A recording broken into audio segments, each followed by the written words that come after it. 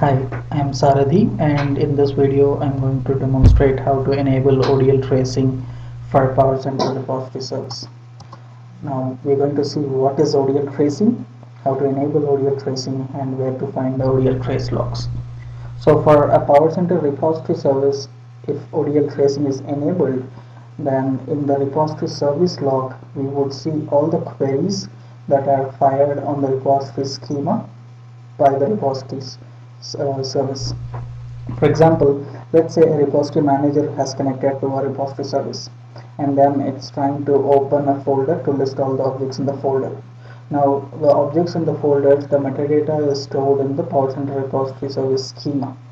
So for that, the Power Center repository service will be firing certain queries on the database and it would fetch the results and then the repository manager would show the folders. So for, for troubleshooting certain issues in order to see what is the query that is last fired or what is the query that is fired for a particular operation, Informatica support might be requesting for ODL traces. So in this video we're going to see how do we enable the ODL trace for repository service and how to retrieve the logs with ODL traces. So in order to do that I will be logging into the admin console after I will log into the admin console. I would see my repository service. Then the first thing that I would do is under the advanced properties there is something called log level. So if the log level is anything other than trace then change the log level to trace.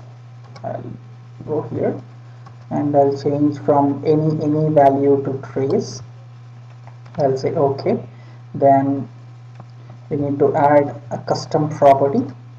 So add the custom property enable ODL tracing. Enable ODL tracing. So you add the custom property with this string enable ODL tracing. This is the string. So uh, if you include any other string it would not work.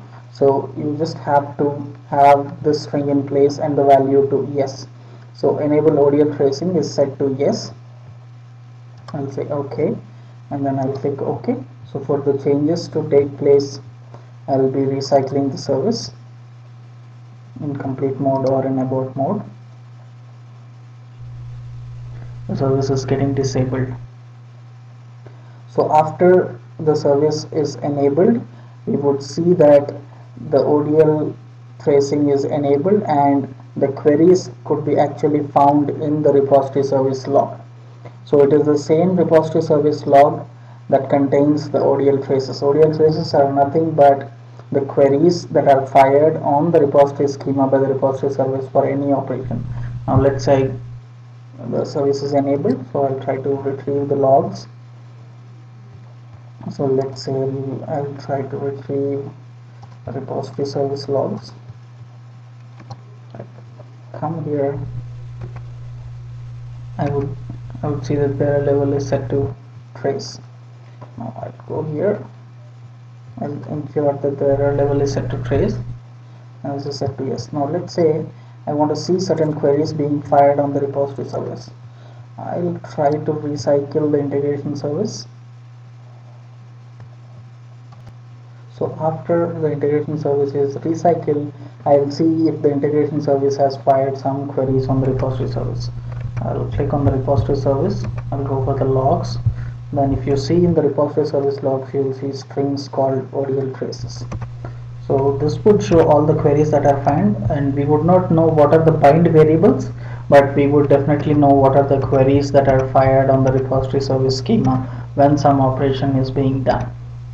So after enabling ODL tracing, you just need to recycle the repository service. The integration service uh, need not be recycled. I have recycled integration service here just to show what are the queries fired by integration service when it goes down and comes up.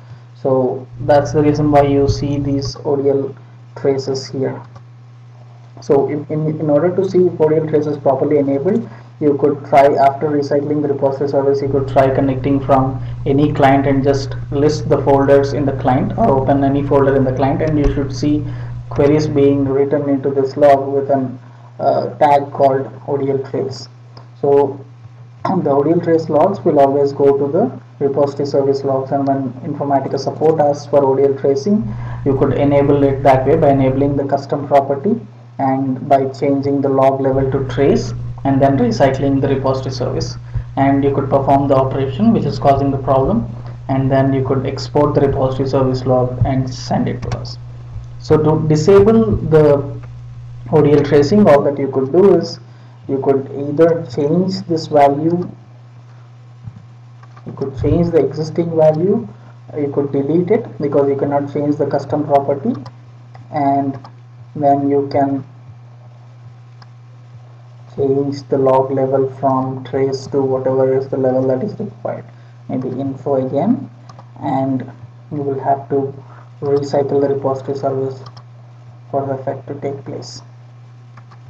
So this is what we have learned in this video. We have seen what is ODL tracing, how to enable ODL tracing and where to find the ODL trace logs so that they can be sent to Informatica customer support if required.